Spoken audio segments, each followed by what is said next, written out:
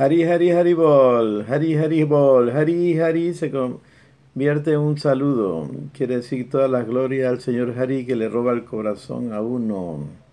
Entonces estamos en el capítulo 8, alcanzando el supremo del Srimad Bhagavad Gita.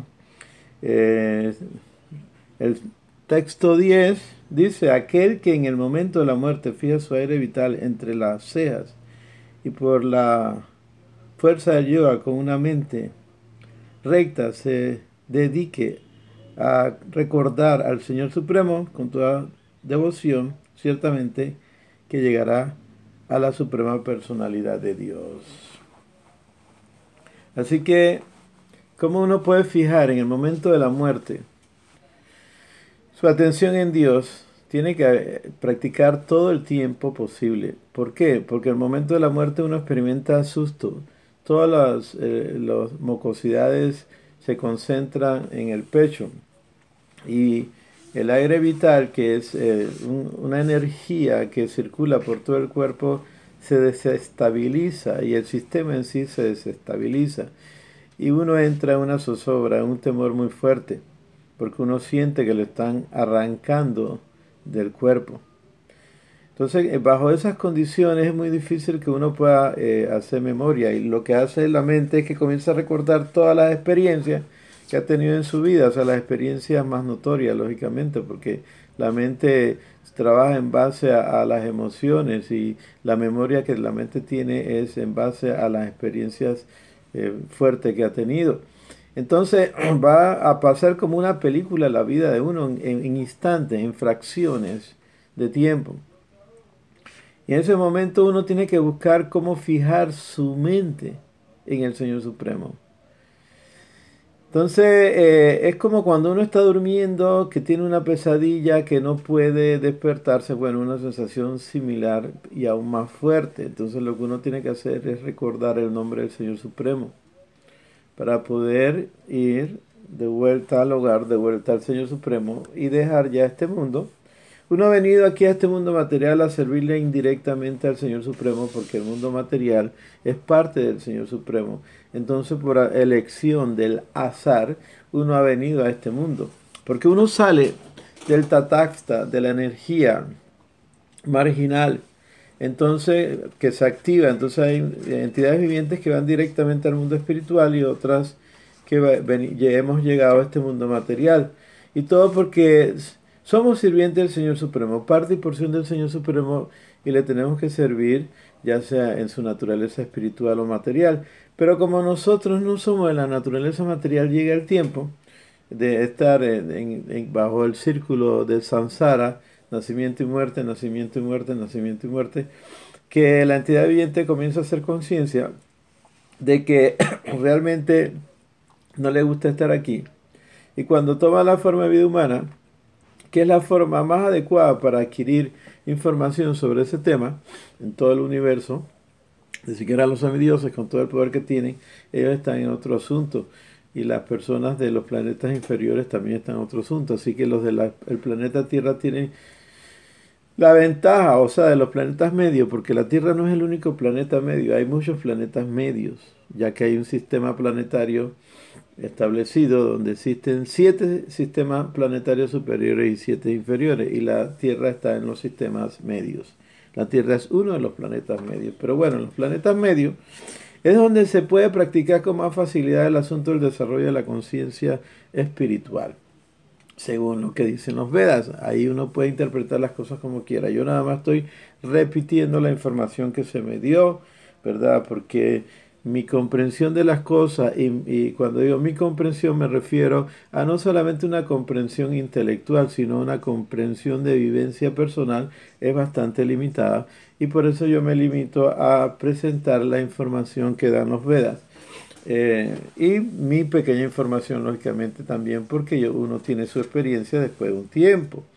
Así que eh, la condición más favorable, como decía, es la forma de vida humana y por eso debemos aprovecharla al máximo.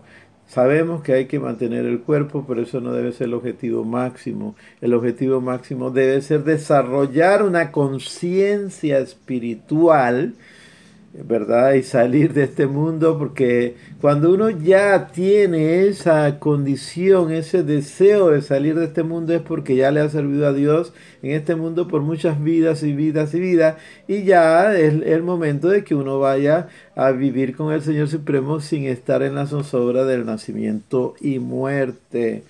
Entonces dice la suprema causa absoluta, soy Krishna, en el texto 11, las personas que están versadas en los Vedas, que eh, prefieren el uso del Onkara y que son grandes sabios de la orden de renuncia, entran en el Brahman. Al desear esa perfección, uno practica celibato. Ahora te explicaré brevemente ese proceso mediante el cual se puede lograr la salvación. Entonces, podemos ver que aquí Krishna en el Bhagavad Gita presentan que hay tres estados de conciencia. El estado de conciencia material, el estado de conciencia medio y el estado de conciencia espiritual. Entonces aquí está definiendo el estado de conciencia medio. Aquella persona que pronuncia el Omkara o Om, Om, Om, Om, ¿verdad? Con la intención de fundirse la energía del Señor Supremo, entonces va a llegar solamente a ese nivel medio. Entonces eh, vamos a entender que existen tres tipos de energía o ambiente donde uno puede estar como entidad viviente. Uno es el ambiente de la naturaleza material, el otro es el ambiente del Brahman, o sea, de la energía total, y el otro es el ambiente del Señor Supremo, donde Él realiza actividades con su devoto. Aquí está describiendo aquel yogi que desea llegar al, Brahman y hace sus arreglos para llegar a ese estado. Ese estado no es un estado eh, firme, o sea, cuando uno llega al Brahman puede permanecer cantidades enormes de tiempo en ese estado que es un estado latente donde lo que se experimenta es una sensación de felicidad, tranquilidad, pero ahí no hay actividad más que eso. Entonces el ser se siente muy relajado. Pero como esa no es la naturaleza del ser, porque la naturaleza del ser es servirle al Señor Supremo, se activa nuevamente, pero no está en capacidad de trascender ese plano en vez de ir al mundo de Krishna o al mundo del Señor Supremo, entonces regresa a este mundo material, el mundo de la dualidad material. Eso es lo que explican los Vedas.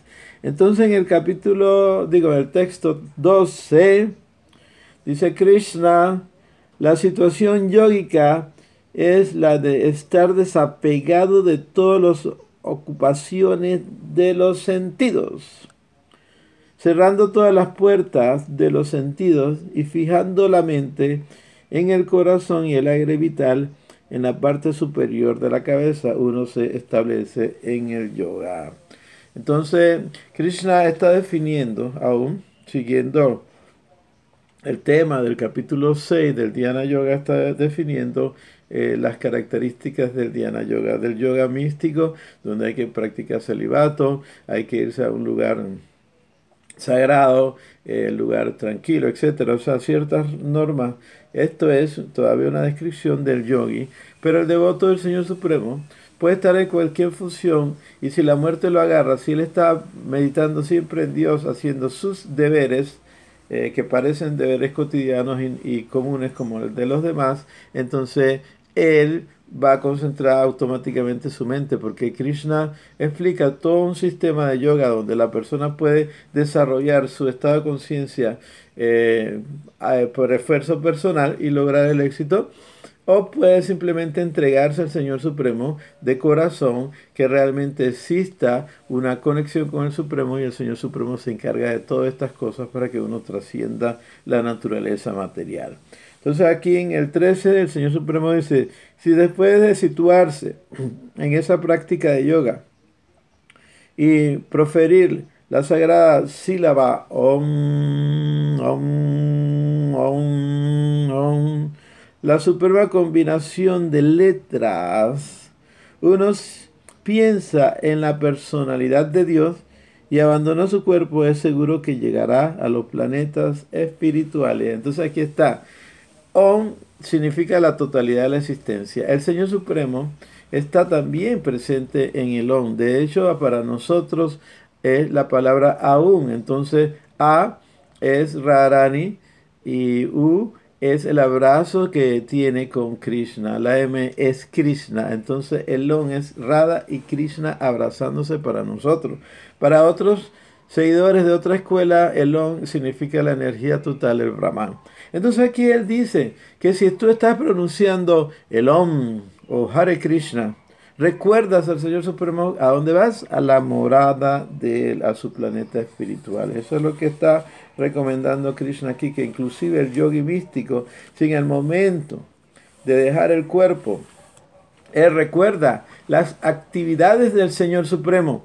Entonces él va a trascender el Brahman inclusive y llegar a los planetas espirituales.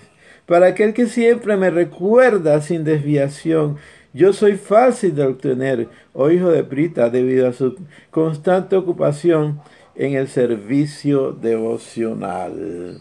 Entonces en el texto 15, el Señor dice, después de llegar a mí, las grandes almas que son yogis en estado de devoción jamás regresan a este mundo temporal, el cual está lleno de sufrimiento, ya que han logrado la máxima perfección. Entonces, esa es la garantía de Krishna. Él, él nos facilita el asunto. En vez de estar practicando algo más complicado, solamente recordarlo, servirle eh, ofrecerle los alimentos que uno va a comer, el trabajo que uno va a realizar, todas las actividades, porque inclusive él en el Bhagavad Gita dice que yo soy el sexo de acuerdo a los principios religiosos. Inclusive uno no es que tiene que practicar celibato como recomiendan aquí los yogis místicos, eso es para los yogis místicos, pero aquel que no ha podido superar el asunto del deseo sexual, entonces puede practicar su relación sexual basado en los principios religiosos que presenta Krishna.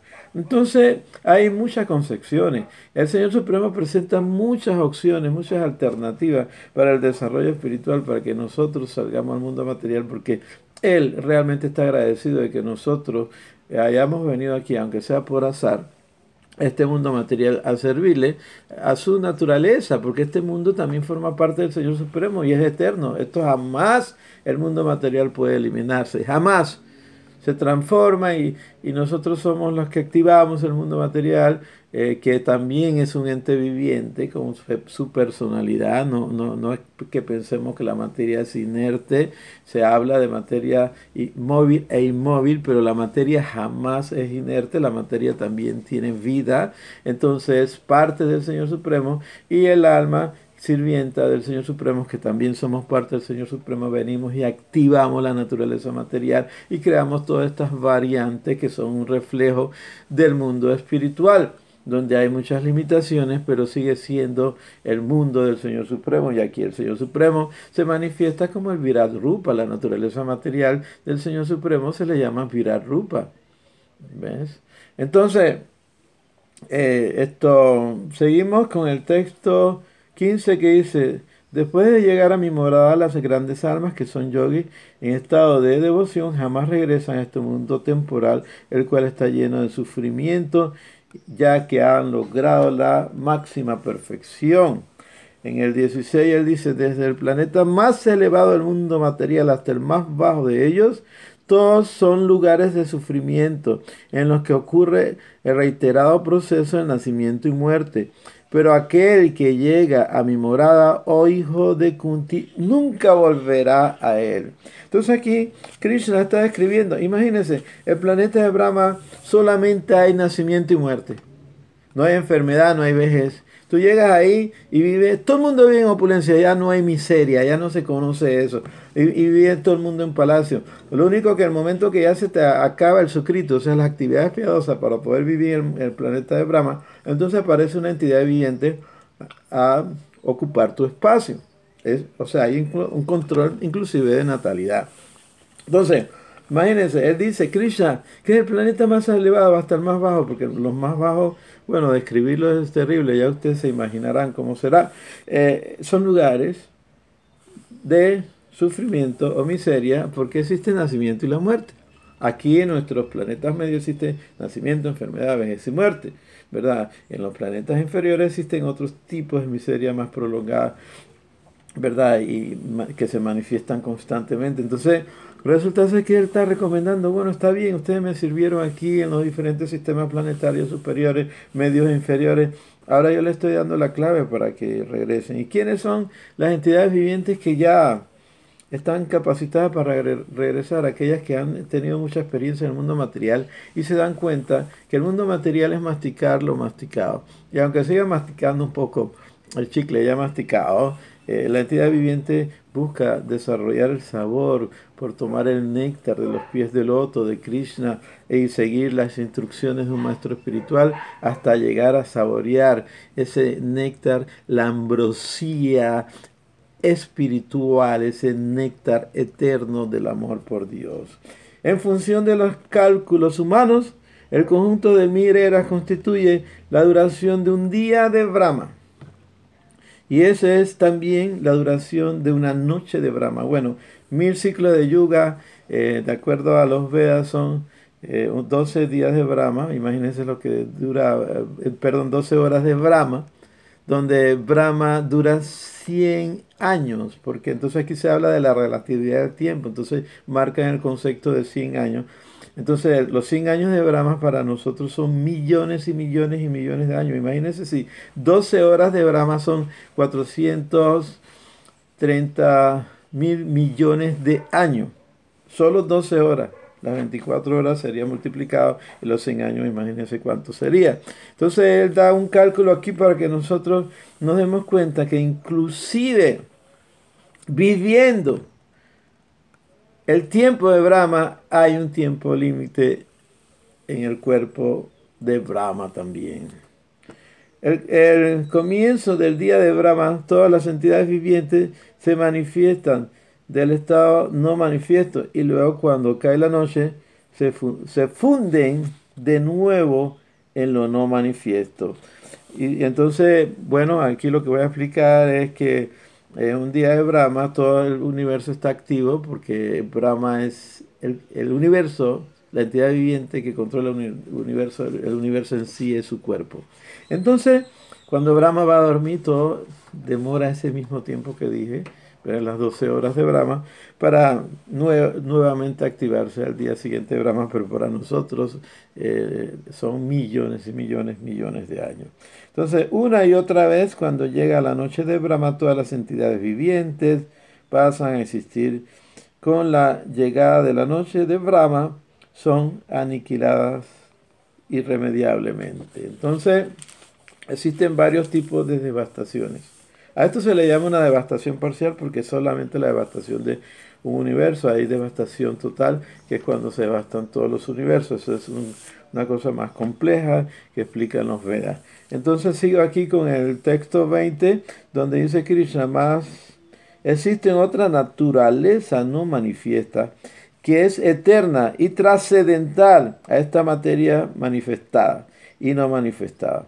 Esa naturaleza es suprema y nunca se aniquila. Cuando todo en este mundo es aniquilado, esa parte permanece tal como es. Entonces, para dar una descripción matemática, se habla que la naturaleza material es una cuarta parte del mundo espiritual. El mundo espiritual es permanente. La naturaleza material sufre diferentes cambios, cambio, cambio, siempre hay cambios. Esa es la exposición de Krishna. Me quedo aquí en el, texto 20. Eh, continuaré después en otros videos, en los textos siguientes. Y esto para mí es muy emocionante. Y les invito a pronunciar el Mahamantra Hare Krishna, Hare Krishna, Krishna Krishna, Hare Hare, Hare Rama, Hare Rama, Rama Rama, Hare Hare.